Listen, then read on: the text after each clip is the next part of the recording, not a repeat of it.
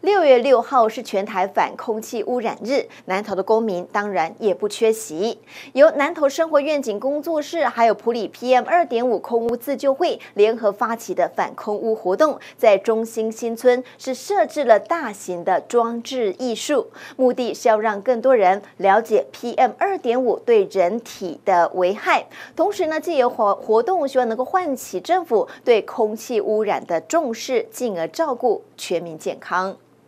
六月六号是全台反空气污染日，南投的民间团体为了要共同响应这个活动，在中心新村的一间餐厅外面布置了一个大型的装置艺术，希望可以让经过的民众了解 PM 二点五对我们健康的危害。呃，普里已经有自救会在去年底就开始运作，那他们也一直有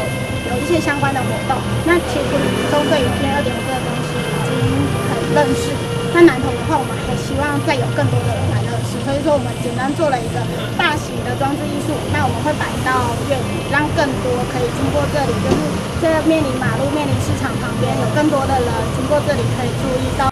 当然就是希望说可以空气品质需要大家共同来维护。南投县政府环保局长也来到现场关心，他很感谢民间团体可以一起来重视空气污染的问题。局长也提到，其实空气污染不是只有来自工业区，在生活上就产生很多 PM 二点五的部分，比如说什么呢？有的农民比较不清楚，他露天燃烧造成了很多 PM 二点五偏高的一个状况。那比如说我们烧纸钱啊，平常烧香啊，我们平常使用的移动污染源汽机车，有的汽机车并没有定期的维修。保养检测造成有一些污贼车的一个状况，这些其实都是一个 PM 二点五很大的贡献。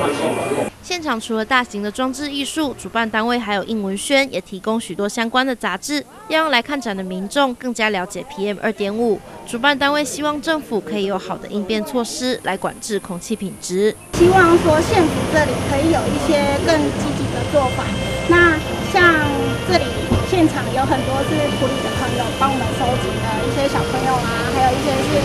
呃家长们的心声。对，就是对于说空气污染，希望说县府能够有一些呃具体的做法，可以管制大家的空气品质。主办单位也收集了许多民众的心声，将他们贴在墙上，希望可以受到政府单位的重视。许多民意代表也都来到现场。